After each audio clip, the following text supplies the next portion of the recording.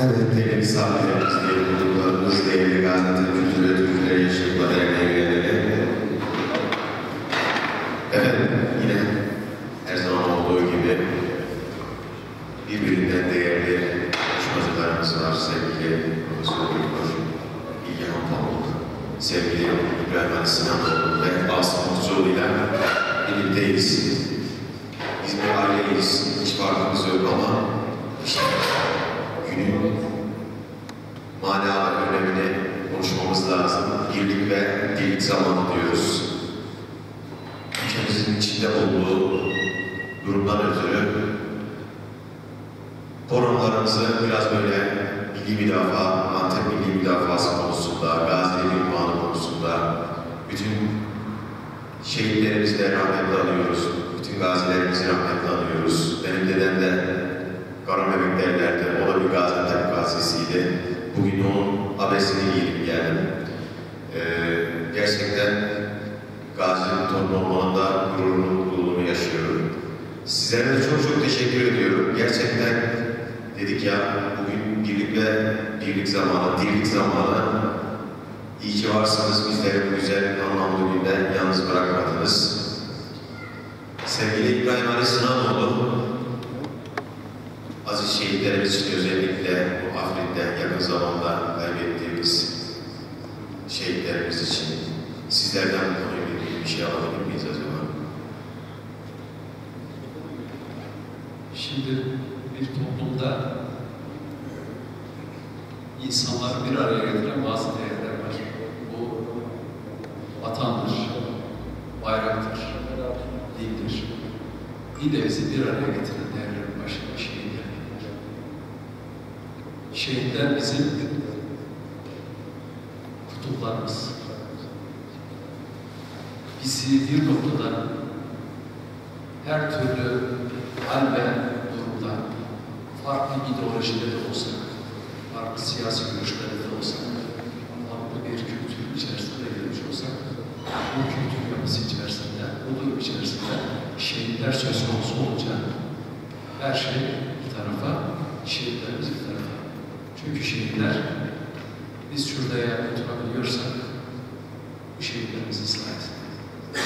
Biz bu memlekette yaşayabiliyorsak Gaziantep'te 10 bine yakın gönüllü olarak hayatını feda etmiş olan Antep şehitlerinin sayesinde oluyoruz.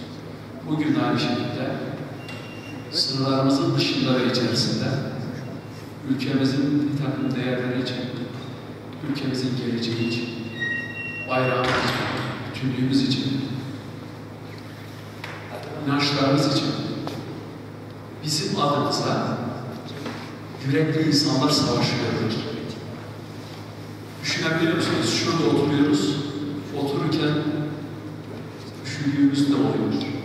Ayaklarımızı toparladığımız da oluyor. Karnımız acıkınca bir şeyler alıp yemek ihtiyacı duyuyoruz. Ama samimi söylüyorum şu anda Afrin'de yurdumuzun içerisinde bazı bölgelerde bir takım yerlerde karda ve kışta ayaklarının her biri, postallarının her biri 2-3 kilo ağırlığına gelmiş. İnsanlar sırtlarında her türlü teçhizatı, elinde silahı,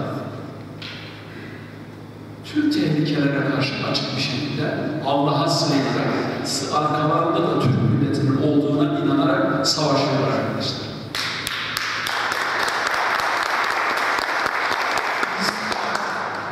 Bizim yapabildiğimiz tek şey o insanlara dua etmek. Cenab-ı Allah o insanların kılıçlarını keskin etsin, yollarını açık etsin, kazadan beladan korusun. Cenab-ı Allah yar ve yardımcılar olsun. Şehitlerimiz var, Allah gani ve rahmet eylesin, ruhları şah olsun. Gazilerimiz var, hepsine acil şifalar diliyoruz. Normalde bizim geleneğimizde evimizde bir cenaze olduğu zaman gülmeyiz, oynamayız.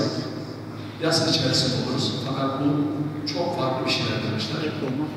Biz şu anda düşmanla savaşıyoruz. O fiziki ortamın karşısında bir psikolojik savaş var.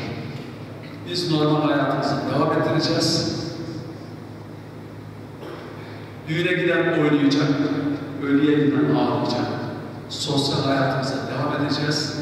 Ama gönlümüz o sınırların ötesinde eli tetikte olan göğsünün namluda düşmanı takip eden askerlerle birlikte olacak. Bu nedenle hepinizden şimdi o askerlerimiz için bir Fatiha rica ediyorum. Şehitlerimize, as, e, bütün Gaziantep şehitlerine, vatan bayrak geçmişlerimize ruhuna ve